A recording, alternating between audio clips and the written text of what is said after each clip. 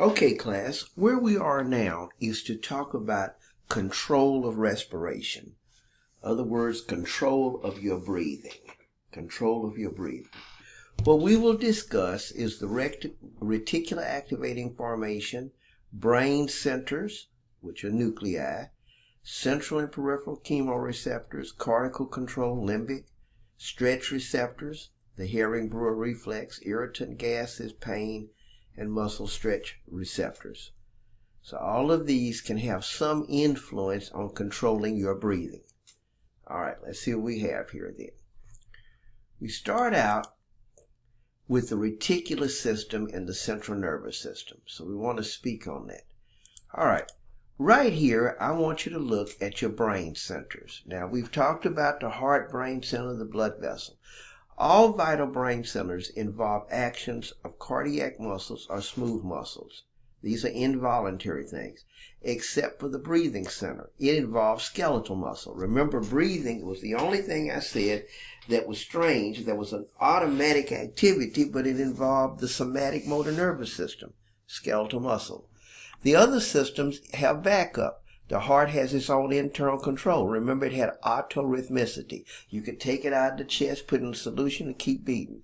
And other centers also have can be controlled. For example, the uh, so we had the cardiac center and we had the vasomotor center. But the vasomotor center, remember, hormones could dilate and constrict blood vessels. The breathing center is very fragile. If you, if you, if your consciousness level, this should be if your consciousness level decreases too much, you will stop breathing. Put that right there. You will stop breathing. So if your conscious level drops too much, you will stop breathing. Okay? Now, what keeps you awake then? All right. So I, our next thing is to talk about the reticular formation in the brain. The reticular.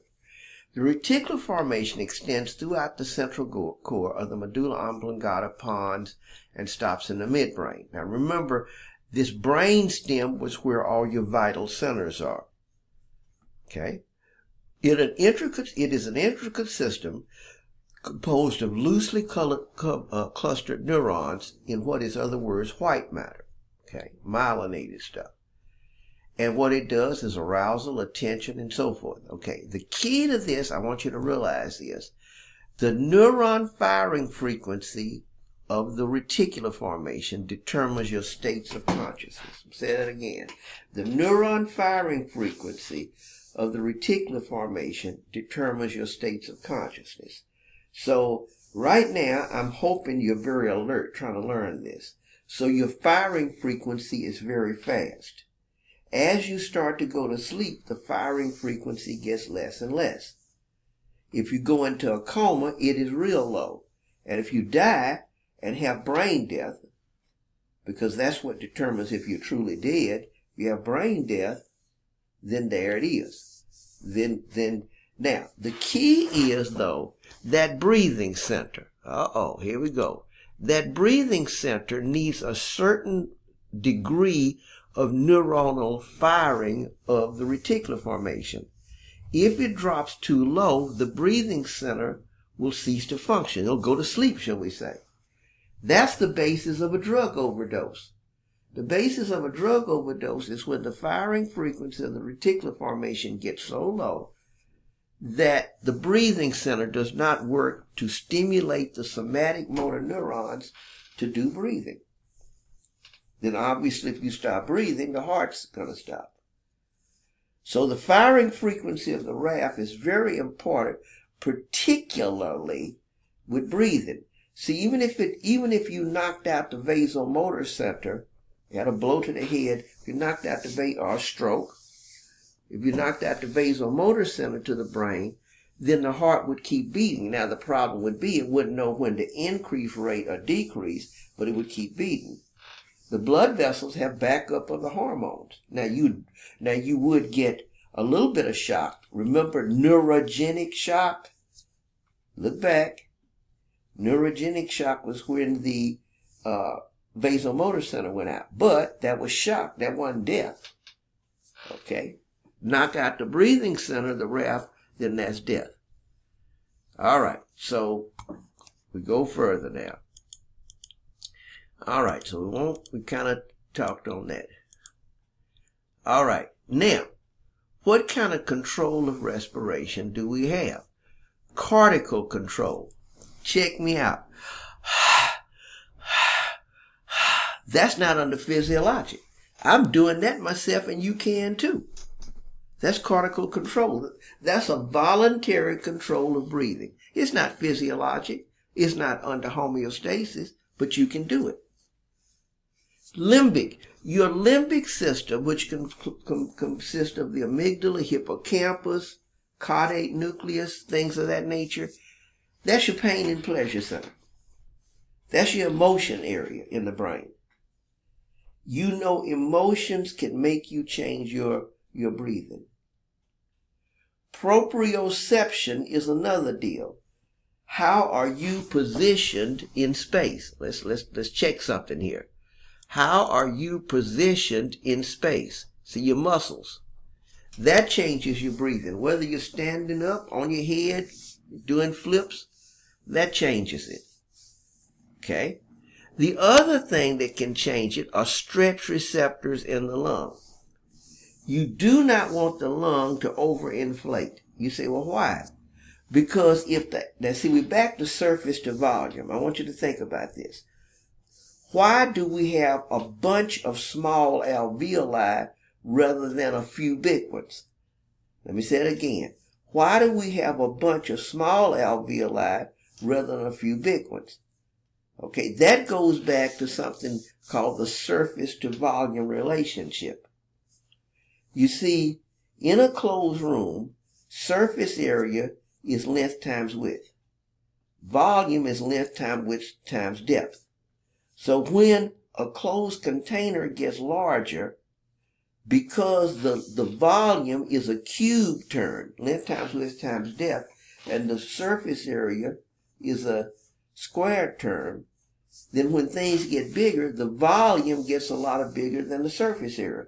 Well, in the alveoli, where, do, where does oxygen and CO2 have to go through? The surface area. The surface area. So you could get to where if you had only a few alveoli, you'd have a lot of volume, but not enough surface area for, for the O2 and CO2 to go through. So you wanted small, a bunch of small alveoli.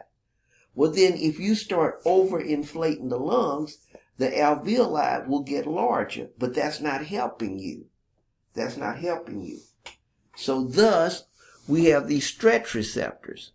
And this, and that will, will cause the, the breathing centers to not allow you to, to breathe that deeply, to stretch. And that's what we call, let me come back this, the Hering-Breuer reflex. The Hering-Breuer reflex is due to those stretch receptors in the lung trying to prevent you from what? Over distending the lung by constantly breathing too deeply. All right. So then we have, now, this one here is the one that's the physiologic, ladies and gentlemen. We'll put it in red and bold. That's the one right there that's the physiologic, which are your chemoreceptors. And what your chemoreceptors are checking out, the only three things they're looking at is acid, CO2, and oxygen. Okay? And those are, and then we're going to talk about your central and peripheral ones. So I wanted to talk about that. All right, before we do that though, let's look at this part, the brain centers. So now we're ready to look at the brain centers that you have involved in respiration, the brain centers. All right. So we're going to come here. And these are the brain centers that you have involved in respiration. This is what I'm going to name. I'm going to say, and you can write this down, okay, but you got the, the PowerPoint. I'm going to say that the area where your brain centers for respiration are is in the area of the pons and the medulla. The usual area for, for all this stuff, the pons and the medulla. I'm going to say we've identified four, and some will say five areas, okay? One area here is called the ventral respiratory group. Now see, this is you looking this way. So here you are. This is you looking this way. All right, this is the pons, the bridge. Right here is an area called the, a pontine center called the pneumotaxic center. Called the pneumotaxic center. Okay. Right here is an area, you see that negative because the pneumotaxic center kind of turns off the, the depth of respiration. Let me say it again. The pneumotaxic center, that's why the negative sign is kind of a negative. Now, if you kind of remember from ANP1, it's really doing an inhibitory postsynaptic potential, an IPSP, an inhibitory postsynaptic potential. Then we've got the apneustic center that's questionable in humans but and it's stimulatory. Then we got something called the ventral respiratory group. The ventral respiratory group is in the front, the ventral area of the medulla oblongata. Then we got the dorsal respiratory group, which is at the back here. Okay. Then we got this pre-Bötzinger complex that, that some add. All right. So these are the areas that control your breathing. Pneumotaxic, VRG, DRG, and to some extent the apneustic, even though it's questionable. Okay? Those are the areas that control your breathing. Now we're going to go into those areas there and talk on them real quickly. Okay? So we have the DRG, the VRG, pontine centers, pneumotaxic, and the questionable apneustic, and this one, which is part of that, the pre-Bötzinger complex. okay, let's see what we can do here. The dorsal respiratory group is located in the back there. Okay. It was previously considered to be the main one to do inhalation inspiration.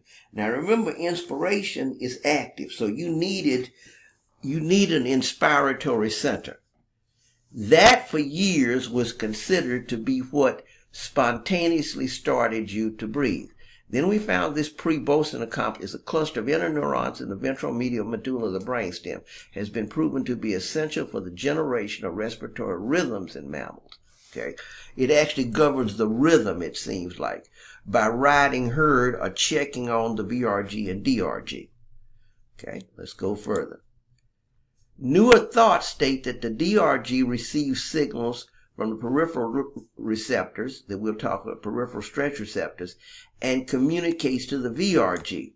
So new thought is is that the VRG may be the main thing. The VRG. Okay, so there's questions on that. But we know it's the DRG or the VRG, and most commonly it seems right now to be the VRG. All right, which is, so that's the ventral respiratory group. Now what the ventral respiratory group is this. If that is the, if that is the one that does inspiration, then it will spontaneously fire a ramp signal. It will spontaneously fire a ramp signal that will initiate inhalation. Remember, inhalation is active. So I want to start right here. I'm going to close this video right here. And I want to start right here at this VRG and ramp signal. But there is still some question. The DRG may be doing, doing quite a bit itself by sending signals to the VRG and the VRG sends it to the somatic motor nervous system. But anyway, we're going to start right there. Okay.